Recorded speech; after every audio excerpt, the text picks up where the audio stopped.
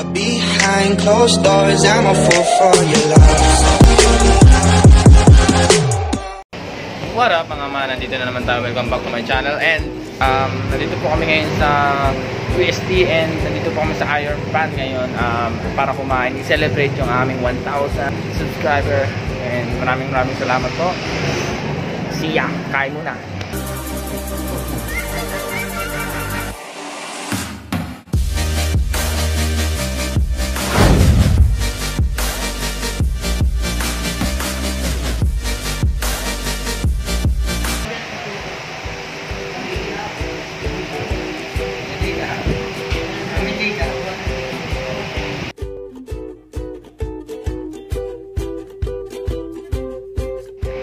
What up guys?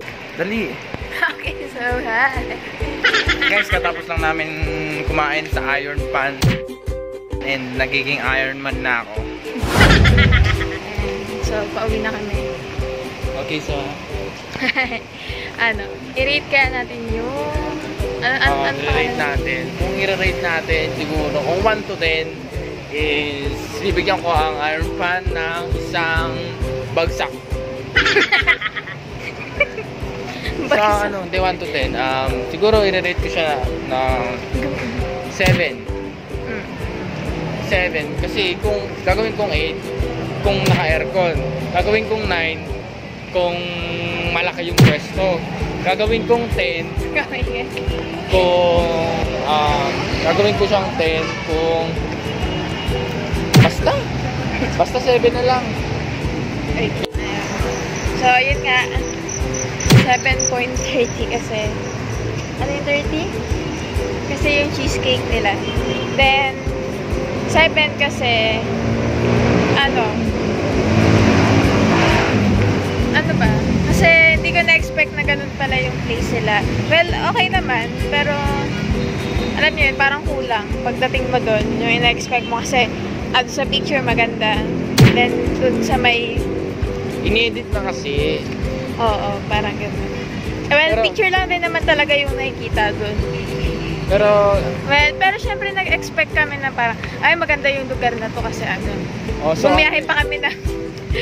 Ewan, yan pala. Tapos ganun na. Parang, parang karinderiya lang. Ayun. Pero, well, okay naman. Okay, okay yung food.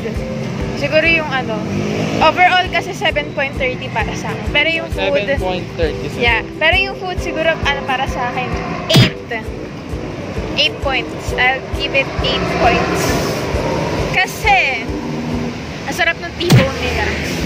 Parang alam yun, parang di mo na-expect rin na meron silang ganong klaseng pagkain sa ganong klaseng ganong klaseng ano ba? Ganong klaseng kainan. Kala mo, ano lang, karinteriya, pero meron pala silang parang special din na tinatago. Saka yung cheesecake yun talaga masarap. So, yun. Pauwi na kami. bye bye We're just walking, going home. Bye-bye.